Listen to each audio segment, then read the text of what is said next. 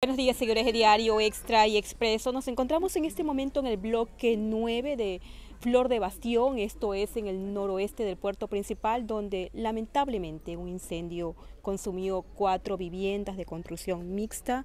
En este momento estamos observando cómo quedaron estas casitas que eran de, hechas con madera y con caña, donde lamentablemente habitaban 12 personas, seis de ellas eh, son menores de edad, hay cuatro familias que lo han perdido todo. Vamos a conversar en este momento con Diana Brito. Ella es la dueña de una de las casas afectadas. En su inmueble vivía ella, su esposo y sus niños. Eh, Diana, lamentamos mucho lo que ha ocurrido con su inmueble. Eh, usted lo ha perdido todo. Cuéntanos qué fue lo que pasó, qué pudo haber provocado este incendio. ¿Qué es lo que se conoce? La verdad que no sé, como vuelvo y repito, solo Dios lo que sabe qué es lo que pasó dentro de mi hogar, porque yo iba saliendo con mi esposo y mis hijos, donde mi mamá, que ya se cayó unos días antes en el baño y la tuve tres, tres, casi tres o cuatro horas en el hospital. Entonces ayer ella me llamó temprano y me dice, mi hija me duele aún el cuerpo de los golpes. Gracias a Dios no tuvo fracturas ni nada y yo me iba a ponerle una inyección. Para eso la mamá de ella me dice, venga mi hija a comer, las invito a comer a mi casa una ensalada de atún. Y mi esposo vino, cogió los bebés, no ni cinco ni diez minutos llegamos ahí, estuvimos ahí un ratito. Me dice, es que coman, se van, me dice cuando yo no sé quién llamó de verdad a mi esposo y me dice, vecino, venga, venga, que su casa se quema. Entonces con ellos mismo ya no pudimos hacer nada. Lo único que mi esposo cogió y pateó la puerta, si es que el perrito estaba vivo, pero gracias a Dios el perrito salió corriendo. Un poquito quemado, no mucho, pero es lo único que pudimos rescatar el animalito, nada más. Y como se dan cuenta, no, no, perdimos todo, todo, todo, no nos quedó nada, nada. Los vecinos también han perdido todo. Sí, los vecinos, las vecinas que están allá también.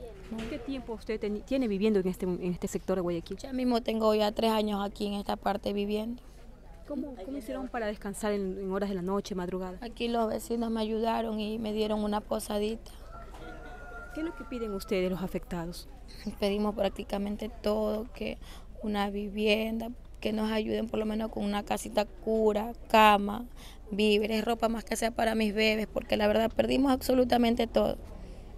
Hemos aquí escuchado el, duro testimonio de Diana Brito, ella es una joven madre guayaquileña que lamentablemente eh, ha perdido su hogar, eh, o lo que era su hogar, una vivienda de construcción mixta donde habitaba desde hace varios años, que fue consumida por el fuego. este hecho se registró la noche de este jueves 14 de noviembre en el bloque 9 de eh, Flor de Bastión, esto es en el noroeste de Guayaquil.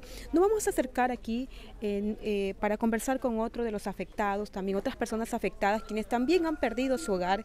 Ellos también se encuentran, se encuentran consternados, puesto que no, eh, la casa donde habitaban también fue consumida por el fuego. Quizás uno de los afectados aquí de este, de este, de este señora, ¿cómo está? Lamentamos mucho lo que, lo que ha ocurrido. ¿Cómo pudo salvar usted a sus hijos? Me dicen que aquí habitaban cuatro o tres o cuatro personas.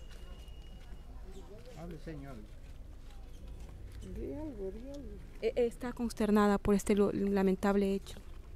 Eh, bueno, la, ha perdido todas sus cosas. Sí, la señora ha perdido, la señora lo ha perdido todo. Lamentablemente ella, ella eh, eh, está consternada, está observando lo que eran sus enseres, lo que era su casa. Podemos observar aquí la ropa, los cuadernos de sus niños, las hojas de zinc.